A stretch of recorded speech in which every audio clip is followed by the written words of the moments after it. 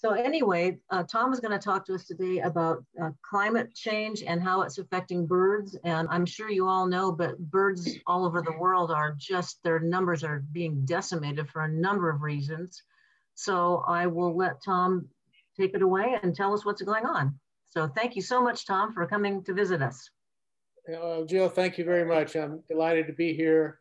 Uh, we actually scheduled this talk last year, which would have been in person. Um, and something in 2020 interrupted that uh, and interrupted a lot of things. So uh, I, I, far prefer to do these presentations in person where I can see and interact with the audience, but um, we um, will do it this way. So I'm gonna share my screen.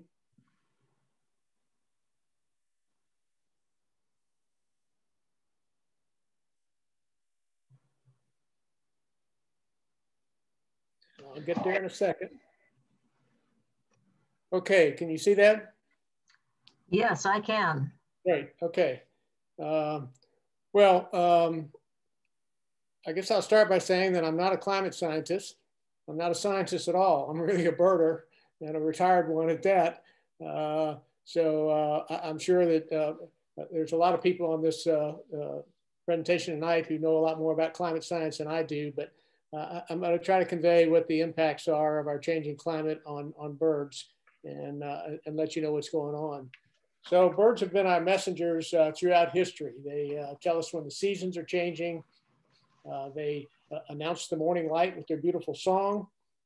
And they tell us when something is wrong. They are truly the canary in the coal mine. Uh, and sadly, the birds that we love are, are, in trouble right now. And they can't speak, but um, they are telling us in other ways um, that, that they are in trouble.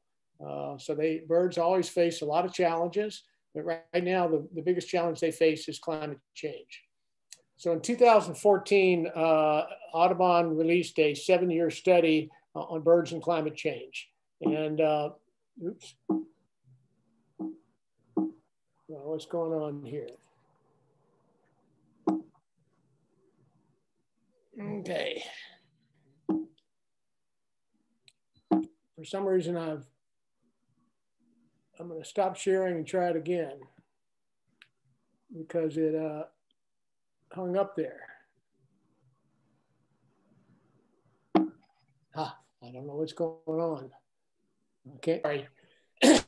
so they uh, released this uh, birds and climate uh, study in 2014, and uh, they used four decades of uh, community science observation of birds about where they are, and combined these bird sightings with a a full range of climate data, uh, not uh, really just uh, temperatures, precipitation for four seasons of the year, and, and considered the, what um, climate conditions that birds needed to both survive and to thrive. Um, yeah, well, that works. That, who knows? So every bird really has a set of uh, environmental conditions that that enable it to thrive and really climate govern, governs it all. So if it's too hot or too cold or too wet or too dry, uh, birds simply cannot thrive. Uh, they have evolved over a very long period of time, millions of years, uh, and are adapted to a very specific set of, of climate conditions. Uh, so this study looked at 588 species of birds in North America and reached the conclusion that 314, more than half, of the bird species are threatened by climate change. And of those, 188 were projected to lose 50% of their climate suitable range by 2080. And 126 were projected to lose 50% of their climate suitable range by 2050, which is really not that far away. Uh, uh, not that far away for some of you who are on this call, and certainly not that far away for your children. Um, and then in uh, 2019, uh, Audubon released a second study, a, a, much more comprehensive and robust study uh, called Survival by Degrees. And I would encourage you to just go to Google Audubon Survival by Degrees and you can read all about it. This one looked at uh, 604 species uh, and concluded that 389 of those, which is just right at 65%, are really at risk of extinction uh, if, climate, if, if global warming reaches three degrees above pre-industrial levels. Um, that's a kind of a terrifying thought given where we are right now. Um, Uh, in the last four centuries, we've had nine species of birds go extinct in North America. Uh, nine is more than I would like, uh, but it's not a huge number. Uh, and Audubon is not projecting how many birds might go extinct, but clearly uh, a large number number of them are at risk of extinction if we can't take action to control the climate, uh, the global warming. Now, once again, not quite sure what's going on with my back and forth. Uh, we'll see what happens here. So, uh, so I think I might have gone one slide too far. No, I'm, I'm okay. Sorry, folks. Uh, so as I said, in the first study, they really looked really looked at where birds are at, at bird data, and, and, they looked at some real basic climate information, precipitation and temperature over four seasons. Well, this time they looked at uh, some more sophisticated climate projections, but they also brought in some other factors, including human land use, including habitat. Uh, habitat was not considered in the last study, and clearly uh, habitat for birds is, is a critical component. Uh, they looked at sea level rise and uh, water issues. Um, and they brought in a lot of data, a lot more data than from the first study. So there were more than 70 data sets uh, with more than 140 million observations. And it is uh, uh, far and away the, the largest uh, data set to, to look at the impact of climate change on birds that's ever been pulled together. Um, they, they, the data, the, the study was done at a one kilometer resolution, which was much higher resolution than what they did initially. Um, boy, still doesn't like moving forward with my computer. Uh, so they really looked at uh, three warming scenarios. Uh, one being the 1.5 degrees centigrade above pre-industrial levels. Uh, that was the goal that was set for the Paris Climate Agreement. Um, I think we're back in the Paris Climate Agreement, although I'm not sure that's uh, official yet, but we certainly intend to be. And then they considered also two degrees above uh, pre-industrial levels and three degrees above that. Uh, so this slide is probably out of date by now. Some of you might tell me otherwise. Uh, when I first pulled this together, we were at about uh, uh one degree above pre-industrial levels. Uh, I suspect we've already reached 1.5 at this point. And certainly if we have not, most scientists agree that, that 1.5 is, is imminent and probably the best we can hope for. Um, we shall we shall see. Um, so I'm only going to show two graphs. Uh, this one's really uh, global mean surface temperature over uh, 130 years or so. And uh, as I think all of you probably know, I think the five or six or seven uh, warmest years, recorded years, have, have, occurred in the last five or six or seven years. So um, so why are these rising temperatures a threat to birds? Uh, well, what happens is these, as the, as the uh, temperatures rise, it really alters the distribution of plants and insects that birds uh, need for uh, nesting, protection, and food. Uh, so I often get the, the comment that uh, somebody will say, well, Tom, birds can fly. Why don't they just fly north or fly to a place where there's a better climate? Um, well, there's some truth in that. In fact, there's some evidence that, that birds are moving their winter range further north. Uh, but these are not necessarily a solution because there are a lot of other problems. For one thing, habitat does not move, or at least not quickly. Certainly habitat will change as, as global warming uh, occurs or any kind of climate change occurs, but not nearly uh, as fast as, as the birds might need it to change. Um, and existing human development um, uh, uh, may not allow for birds uh, to, to find a habitat that suits them. You know, Chicago's not going anywhere. And on the coast, uh, if there's sea level rise, it, it, can take a significant amount of time for that marshland and that bird habitat that, that the, our coastal uh, nesters need uh, to, resurface. And it may not because it, they may run into human development and, and, limit that availability of, of, habitat altogether. And in terms of up, Uh, we have golden crown kinglets and west, winter wrens that nest at Mount Mitchell, breed at Mount Mitchell at very high elevations. Well, there is no more up. But the reality is that climate change really uh, works on individual birds uh, as opposed to species. So uh, birds are faithful to where they're born, like some of us. Uh, and, and, birds are often going to return right back to that same area where they're where they were born. And, and birds can't read the paper and the scientific uh, journals, so they don't really know that climate change is occurring. Um, they may see the same general habitat and, and kind of not realize that that the uh, climate is affecting the food supply, and, and therefore um, uh, their, their breeding is simply not as successful. They're just uh, fledging success drops. So studies have shown that um, when, when, when, birds produce about 1.7 successfully uh, fledged, 1.7 birds from their nest, uh, then the, the population of that species can remain constant. If it drops to just 1.4 successful fledglings, uh, then there can be a significant reduction in, in the number of, uh, in the population of that bird. So, um, so it's really these individual birds that um, are, are, subject to this. Um, it's my last graph, uh, but really it's the most compelling evidence of, of, of uh, uh, global warming that I've seen. Uh, and it shows CO2 concentrations both during ice ages and warming periods for the past 800,000 years. and with another group, I might get into explanation of, of, what CO2 concentrations mean, but I think all of you probably are aware that uh, the higher the CO2 concentrations, uh, uh, the more heat is trapped and the, and the higher our temperatures go. and so if you look at that graph, you'll see that uh, more than 300,000 years ago was the highest previous concentration of parts per million about 300 parts per million CO2.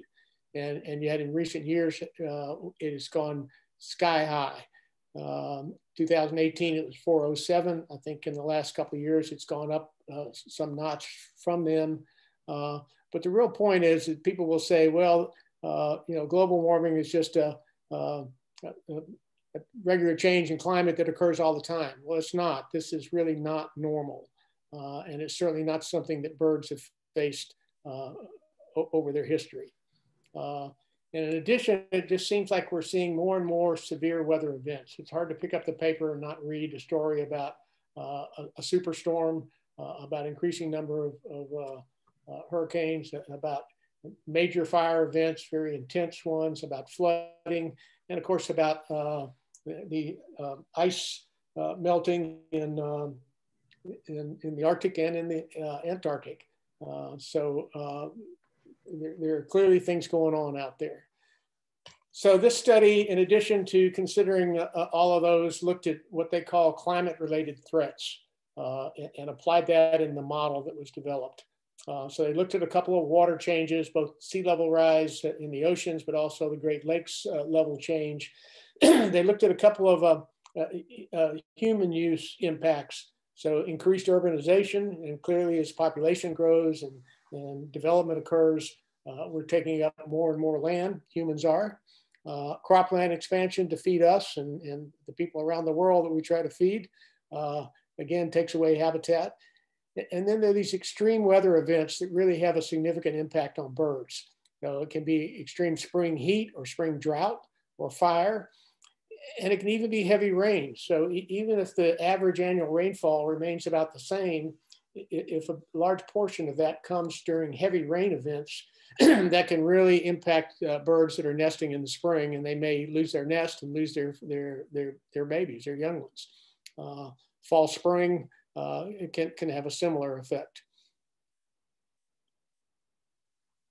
So the study looked at uh, multiple climate related threats and uh, you can see what's here. 97% of the species in that study uh, would be affected by more than one of these threats under the three degree centigrade warming scenario. Uh, to show another one um, uh, uh, of these threats facing the birds, 305 of those species, which is more than half, would face three or more climate change threats or climate threats. And whereas if we can keep it to 1.5 degrees above pre-industrial levels, uh, only 34 bird species would face three or more of these threats. And they also did some vulnerability assessment of habitats. Uh, uh, and I'm only going to show the highly vulnerable uh, slide. Uh, you can go to the uh, survival by degrees report and see the moderately vulnerable or low vulnerable. Uh, but you can see that in the Arctic and the boreal forest, essentially every species up there is highly vulnerable. Um, it seems that uh, climate change is kind of affecting the, the, northern latitudes more than anywhere else. Water birds are in there too because so many of our water birds actually breed at, at high elevations. So I'm going to show some examples. Wood thrush, don't know how many people, how many of you have ever seen a wood thrush or heard their beautiful song. Uh, this map's a little difficult to read, but the wood thrush breeds all across North Carolina, and in fact, all across the Eastern United States. So really on these two projection maps, all you really need to look at is the, is the red colors because that represents the range loss, the projected range loss at 1.5 degrees centigrade, the projected range loss at three degrees centigrade. And you can see the significant difference in those uh, in terms of uh, the range loss that the wood thrush would experience. And to bring it closer to home, uh, uh in the worst case, uh, the wood thrush would essentially uh, be wiped out for 90% of its breeding habitat in North Carolina and only in Western North Carolina would it remain in all probability. I don't know how many of you ever seen a bobolink. This is a grasslands bird. Uh, it's a beautiful, this is the male, it's just a beautiful bird. Uh, it does not breed in Western North Carolina, but it comes through uh, every spring and in the fall on migration, heading towards breeding grounds further north. And in fact, uh, a week ago today, I saw six of these male bobolinks perched on a fence at, at uh, the Biltmore Estate. And I actually got an email today from a birding friend who, who found about 20 or 30 of them uh, in the grasslands at Warren Wilson College. So it's a wonderful thing to look forward to in the spring when they come through. Um, as I said, they breed in grasslands. Uh, this was their uh, historical breeding area, which is the northern part of the United States and southern part of Canada. And the bird survival by degrees report projects that this is going to be, the yellow now is going to be their future climate suitable habitat. Well, you know a little geography, you know that that's mainly boreal forest. Well, these are grassland birds and they're not going to be successful in the boreal forest. Now, uh, climate change means that that boreal boreal forest is going to move further north or disappear at some point. But as I said earlier, that doesn't happen nearly as fast as the bobolink would need it to happen. Uh, so they could be really severely affected uh, by climate change. And uh, I would uh, terribly miss seeing them every spring. So one of the tools that you can find in the bird and climate or the survival by degrees report is the bird and climate visualizer. So you can go in there and punch in your zip code and it will bring up a list of birds and pictures of them, uh, of birds in your area that are uh, uh, either vulnerable at, at, three degrees or at two degrees or at 1.5 degrees. And I did this for Buncombe County. Uh, the black shows those that are uh, vulnerable at these, at these various categories, uh, whereas the red shows how many would be, how many species would be vulnerable uh, if we could uh, uh, keep global warming to 1.5 degrees. So 22 here in Buncombe County, it would drop to four. And one of the things interesting to me now, this brown-headed nuthatch up here in the left corner would be vulnerable in any in any scenario. Uh, but two of the species that would be in the high vulnerability category uh, at three degrees are an eastern towhee and a brown thrasher. And if you're not a birder, you may not be aware of these, but these are common residential birds. I have both of them in my yard, which is a mile and a half north of downtown Asheville. Uh, and it just kind of stuns me that uh, a bird that has been, that I've known to be common all my life uh, could really be that threatened. So uh, I, I, sometimes give presentations to uh, schools, school groups, children, and I always ask them, you know, what's the value of birds? And I get interesting answers. And actually, most of the time, I get a lot of good answers, correct answers. And they will talk about that birds eat insects and pests, and, and birds certainly do that. And uh, uh, rodents that threaten our crops, and, and, uh, and has a significant economic impact uh, for us. They also recognize that birds pollinate plants and, and that birds distribute seeds. It really helps the forest to spread uh, and to get those native seeds out there. Uh, they, they may mention um, that they are uh, indicators of the uh, ecosystem health, which is very true.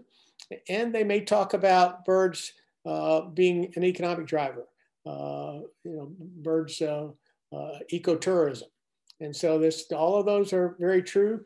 Uh, in North Carolina, wildlife viewing is a billion dollar industry every year.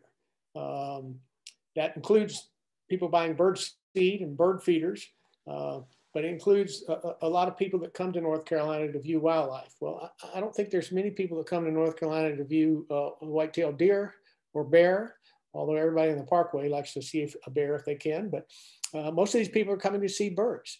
Uh, so um, they, they are incredibly valuable to us but probably the best answer that I ever got at a, at a, at a school was from a young fourth grade girl and, and her answer was birds are beautiful. And I, I think what that answer really means is that uh, birds have an inherent right to live and have their babies in this world just as much as we do.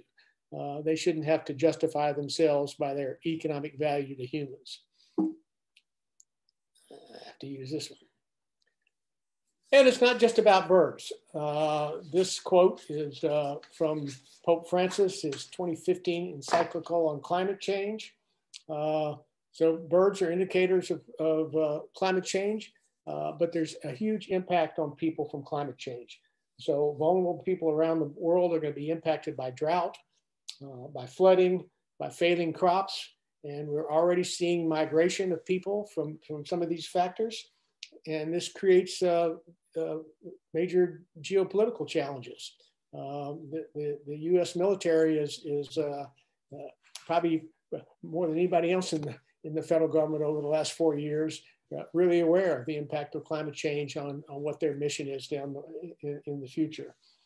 So this report, I think a critical outcome of this report is that it gives us a lens to view ch climate change. Uh, birds are the lens but climate change will affect all of us. Um, so uh, all these maps and, and figures have uh, painted a pretty de depressing picture, um, but there is hope and the report gives us some hope. Uh, I, have always said that I'm a half glass full kind of guy and I believe there are things we can do. We know how resilient nature is. And if we give birds half a chance, they're gonna survive.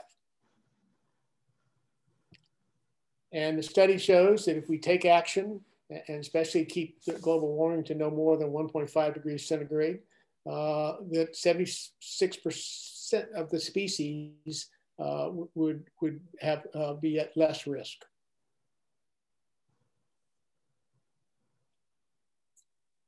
And that would be nearly 150 species would no longer be vulnerable to extinction.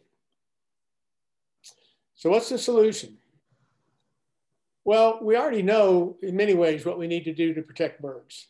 We need to protect the birds, uh, uh, the places where birds uh, live now and will live in the future. Uh, and we again, begin, need to begin to address the, the root causes of climate change. Um, so these are Audubon's climate initiative strategies. I'm not gonna go through every one of them, but I'll talk about some of them. Uh, one of them is really starting the conversation. Uh, and that's kind of what I'm doing tonight with you folks. Uh, but, uh, you know, talking about this issue. And it doesn't have to be done in, a, in an adversarial way. Um, there are still deniers out there, but I think the data shows that there are fewer and fewer. The percentage of people that recognize that climate change is real is increasing. Uh, so everyone's voice is important, and uh, uh, everyone loves birds. So you can say, did you know that uh, the birds we love are under severe threat from climate change? And you can find facts on the Survival by Degrees report and other places on our Audubon websites and just kind of pop those into your social media uh, sources from time to time. Protecting climate strongholds, I just mentioned.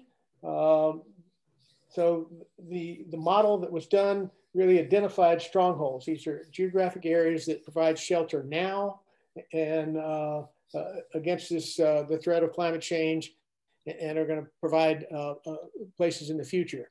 As I mentioned, the, the wood thrush may, may only be able to live in Western North Carolina. We're very fortunate out here and that there's a significant amount of land out here that is still wild and is protected. Uh, lots of national forest and, and uh, uh, national parks. Uh, so protecting these climate strongholds is really a, a critical part of the strategy. And, and, the other key part is, uh, is simply reducing greenhouse gases. So you can reduce your own energy use, of course, um, but really uh, taking a public stance, reaching out to elected officials, and I'm going to get into this a little more detail uh, in a minute, uh, to really promote um, uh, alternative energy, clean energy transition, uh, and also uh, the investment in, in, battery storage technology.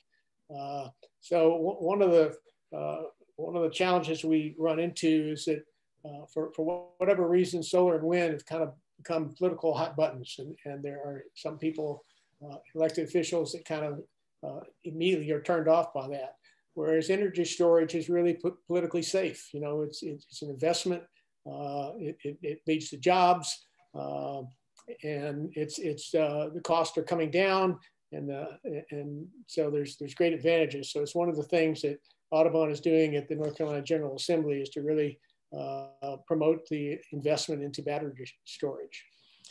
But there have been hopes uh, in, recent years, and I'm going to mention a few of them. Uh, the state of Washington passed a bill that will phase out coal by 2025. Uh, New York has established a clean energy standard that's going to require 50% of the New York State's electricity be obtained from renewable sources by 2030. Well, these are two blue states so perhaps not too surprising. Uh, but South Carolina uh, passed an Energy Freedom Act that expands access to solar energy. Uh, Arkansas, uh, uh, not a blue state, uh, passed a solar expansion bill that will allow homeowners and businesses to generate electric energy. So these, these are great steps. And one of my favorites is a little town in Texas called Georgetown, population 67,000. in 2017 became the largest state in the United largest city in the United States uh, to be powered entirely by renewable energy. Uh, hmm. this was led by the mayor, who I believe was a Republican. Um, and this is in a state with, which believes heavily in oil production. So there are successes out there. Uh, at the federal government level for the past four years, uh, addressing climate change has not been a priority, but actually a lot of things are going on in state governments, local governments uh, around the country. As I suspect all of you know, both the city of Asheville and Buncombe County have adopted resolutions to end greenhouse gas emissions for all city county operations by 2030. And there is some push to do that a little faster. And it even goes down to smaller levels than that. Uh, Isaac Dickson Elementary School, um, which is just not too far from my house, um, uh, they had planned to be net energy, net zero energy by 2020. I, I, need to call over there and talk to my friends and see if they've reached that. I can't promise that they have yet, but they were getting close. Oops. And uh, investments in battery storage. Duke Energy is, uh, has announced that they plan to invest a lot of money into battery storage. And there's a couple of companies that in 2019 uh, uh, announced that they're going to build two large scale solar plus storage facilities in North Carolina. So there are good things happening out there, maybe not enough, but it's, it's happening. Um, in a lot of ways, the really good news is that the younger generations are going to drive the climate movement. Um, so in, uh, I don't know if any of you attended the climate justice rally in downtown Asheville in September of 2019. Uh, I was there. This picture is not from that rally, but it really could have been. Uh, I was stunned by the number of young people there and speaking out. Uh, the favorite, my favorite placard uh, from that event uh, was one that read, there is no planet B. Uh, so um, the, the, the, young people get it. They recognize it as their future and their children's future. Uh, I'm sure all of you have heard of Greta Thunberg, the young Swedish girl, who has been a particularly effective voice. Uh, she spoke to the United Nations a couple of years ago, and as, as I think 16 or 17 year olds, and said, Shame on you. You have stolen my dreams. So uh, I'm not sure what impact that's having on our politicians, but, uh, but the youth are going to drive a lot of this. Uh, uh, Audubon um, is, is working hard to lobby elected officials, and, and we invite all of you to get involved with that. Uh, the picture on the top left uh, shows some of our uh, Blue Ridge Audubon folks at, a, at an advocacy day with the General Assembly in Raleigh, meeting with our representative Susan Fisher. And uh, uh, so we are working hard to uh, promote initiatives to the General Assembly on uh, renewable energy policies, uh, bird-friendly communities, uh, increasing the, the, dollar commitments to saving or protecting climate strongholds and, and acquiring new land. in our chapter, uh, in 2019 adopted an advocacy plan, which was the first chapter in the state to do so. And what we're doing through that is really mobilizing our members and our supporters uh, uh, through what we call action alerts, um, providing a forum for people to reach out to elected officials and other resource managers. Uh, so this action alerts will provide background um, uh, information, you know, what the issue is, uh, the goal, what change is necessary and why, and the action desired, which might be sending a letter to uh, an elected official or a congressman or, or senator in the state, a representative or senator in the state.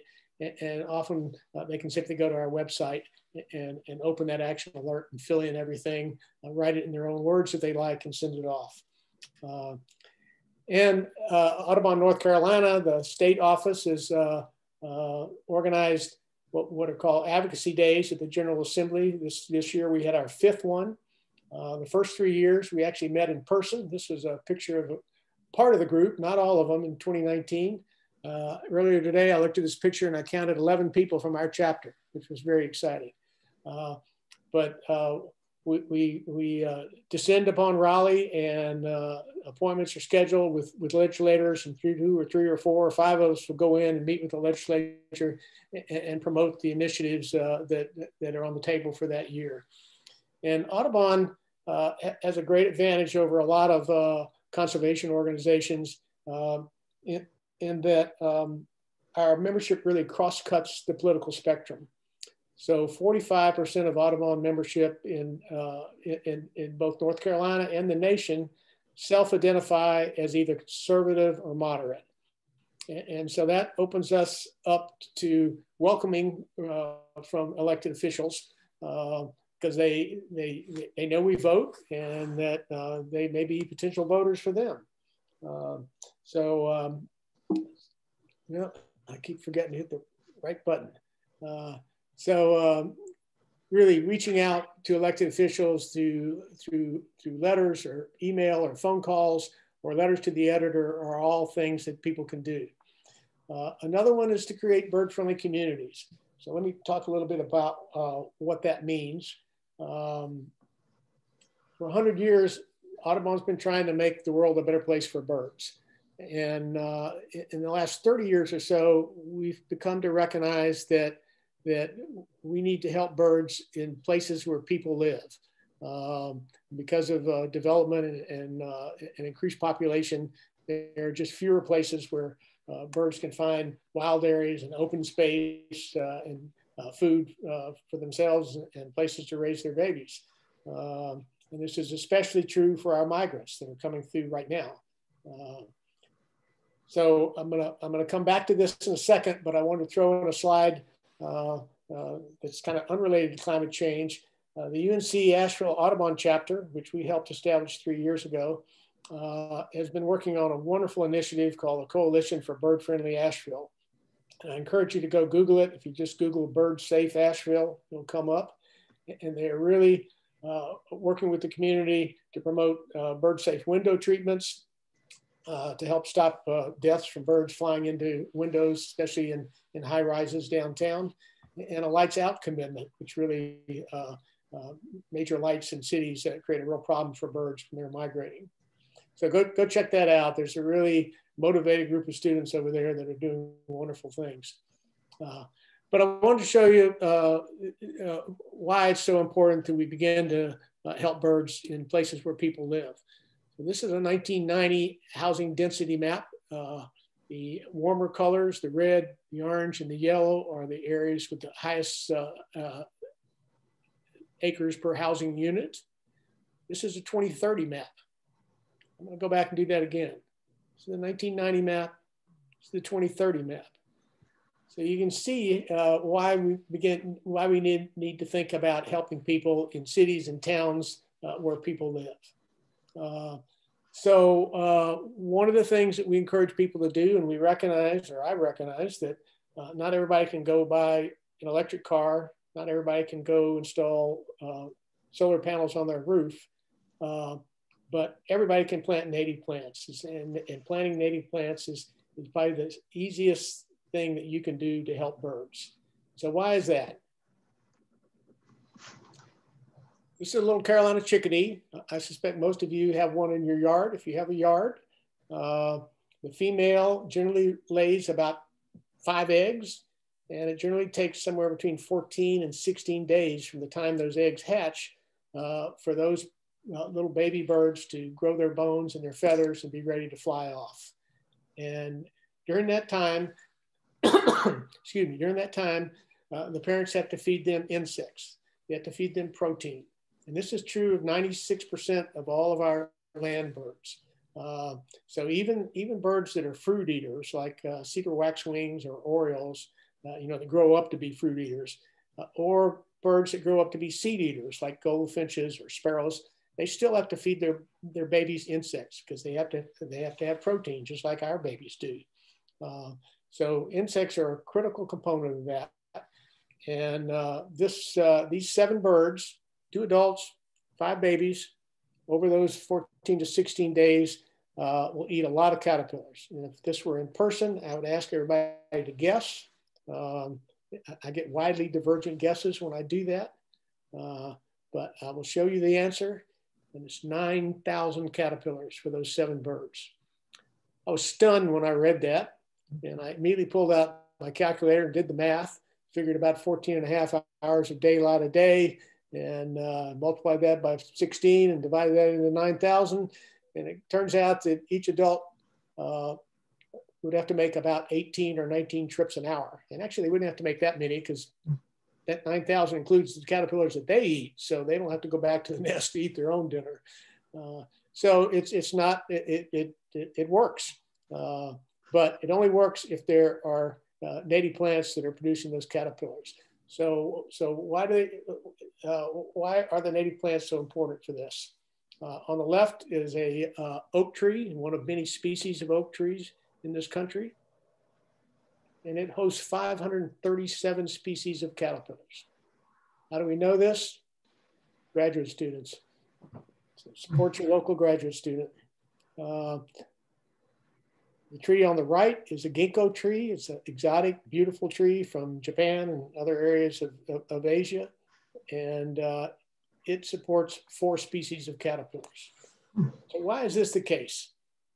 Well, our native trees and our native, our native plants and our native insects have evolved together over millions and millions of years.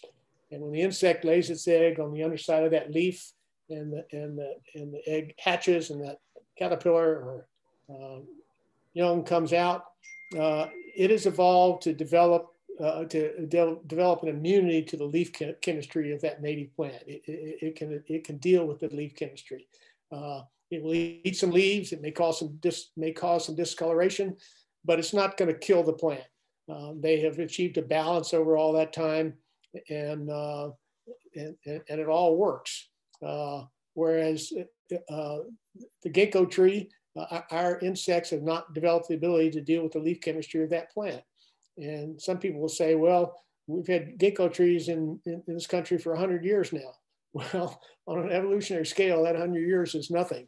So who knows how long it would take for our insects to be develop the ability to deal with that.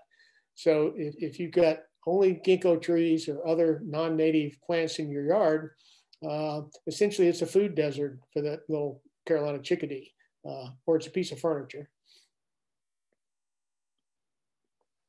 So climate friendly yard, these are some things you can do. Uh, eliminate grass, uh, plant some native species. Um, I, I, always tell people, I do a bird friendly gardening presentation as well. And I always tell people that if you have a, a non-native plant that you just love that produces great flowers or whatever, keep it. The Audubon police are not gonna walk by, right, drive by and shake their finger at you. Uh, but when it comes time to replace a plant, or better yet, to do away with some grass, uh, then please go out and, and, and, buy native and put those in your yard. So I'm basically at the end here. Uh, we'll just uh, show this picture that um, back in the late 1800s and the early 1900s, uh, one of the traditions around Christmas, not necessarily on Christmas Day, was called the Christmas side hunt. And the men went out. I say men. I don't know. Maybe there were some women that did it as well, but I'm. I think my generalization is probably correct. Uh, they went out and would shoot birds, lots of them. Uh, I somehow doubt that they ate all these birds. Uh, so one of Audubon's early leaders, uh, a, a, man named uh, Frank Chapman, uh,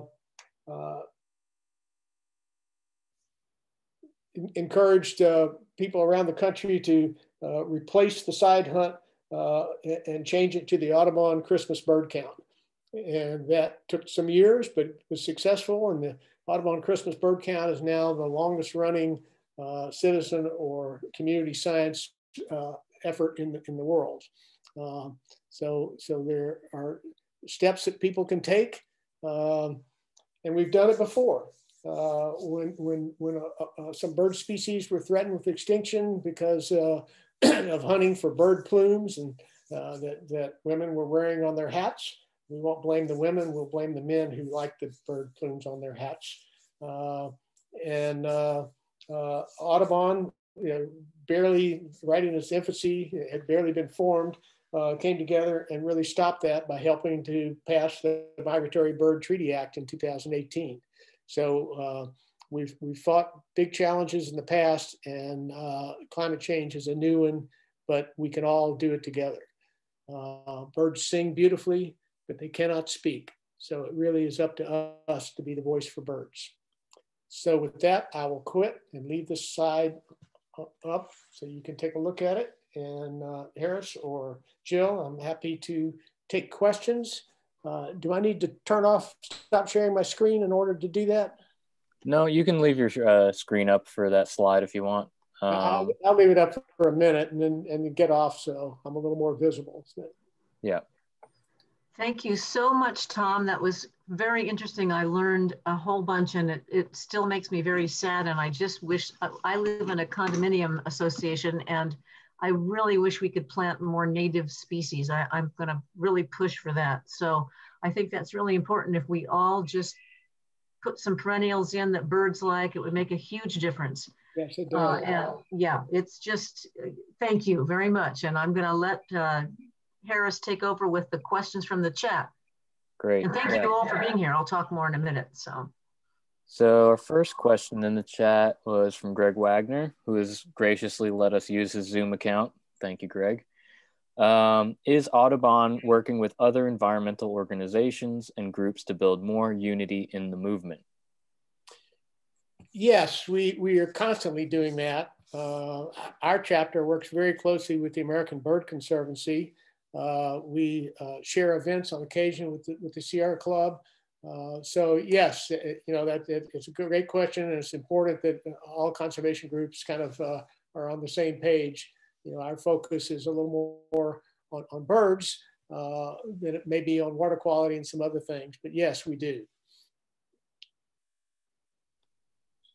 Great. Uh, another question from Susan Stanton. What other native trees support large numbers of caterpillars besides oaks? Cherry is, is a wonderful one, 450 some species of caterpillars. Uh, willow is another wonderful one. Um, there's an interesting example I use in my bird friendly gardening presentation uh, is, um, and, and, before I go on to this one, I should say that cherry also, there are four food groups. In addition to the insects, there's berries and nuts and seeds and nectar. So cherry is a tree that produces two of those, lots of insects and, and berries as well. But, uh, but uh, crabapple is an interesting example that I use. It, it's, uh, it's, it's a native tree, but it demonstrates that the answer is not always black and white. Uh, native is good, but uh, non-native is bad.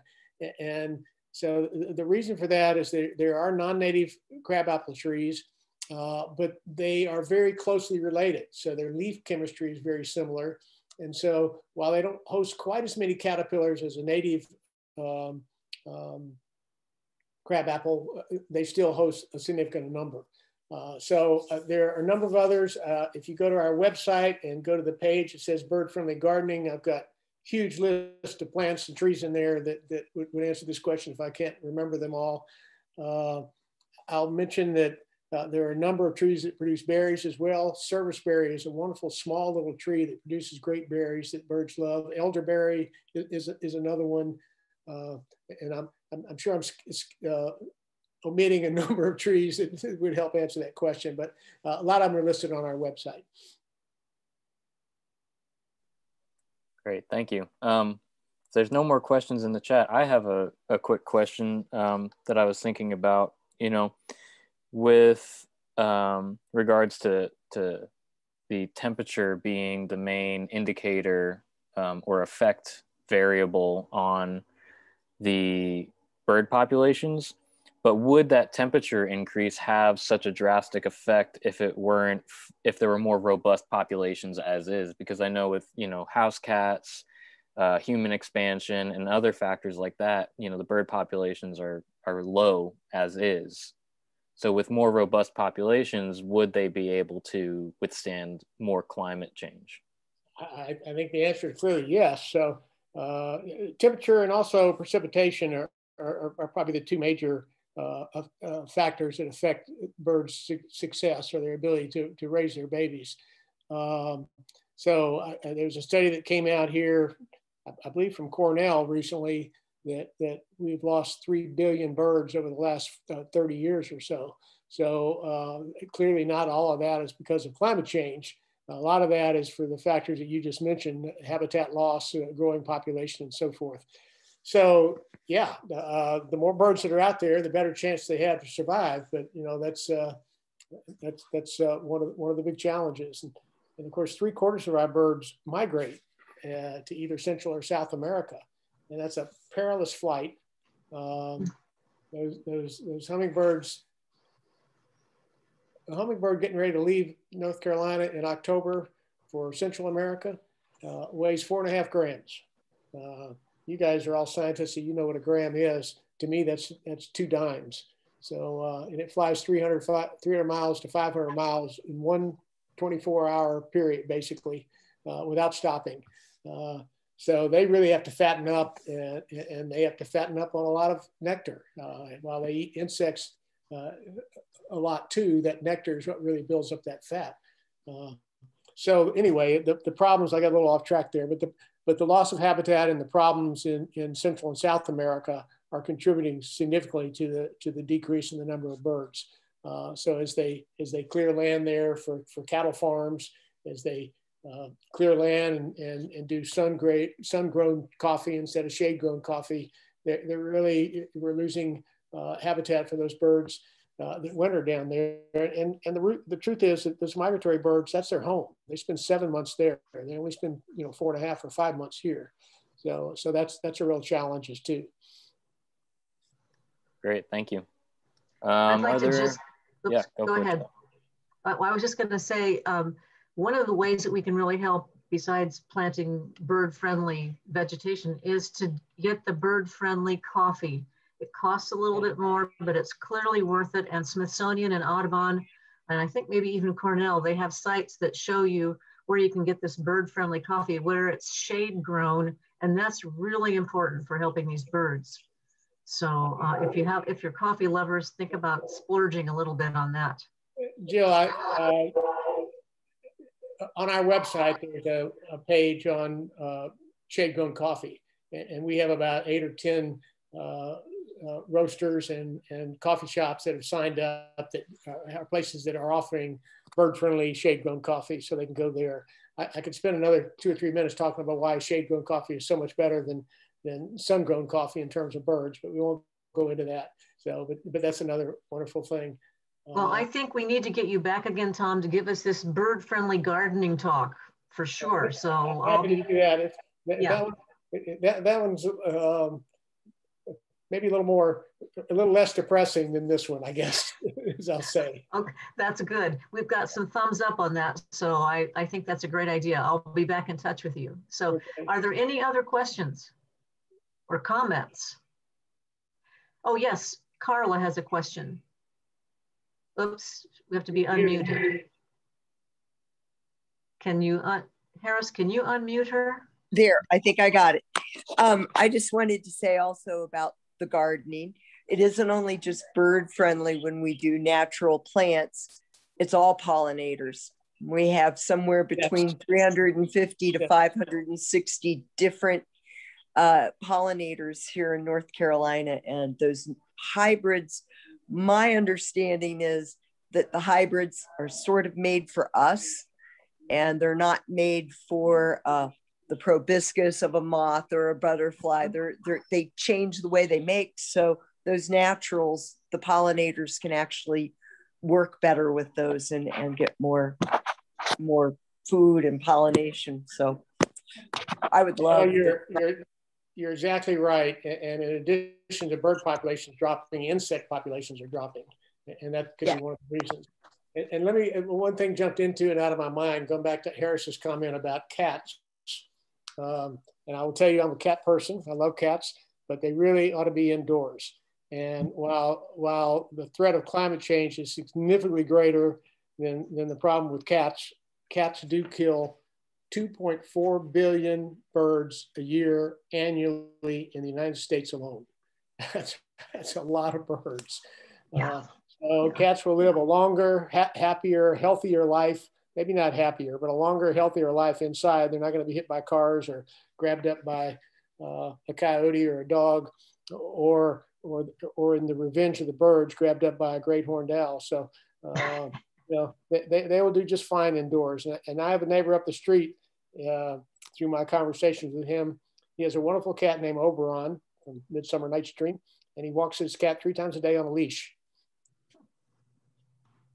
Sounds good. Wonderful. Well, uh, one quick thing. Next next month, I want to just announce next month's talk. It's going to be about um, life in the in the International Space Station. So join us on the second Sunday of June, and we'll have that talk also.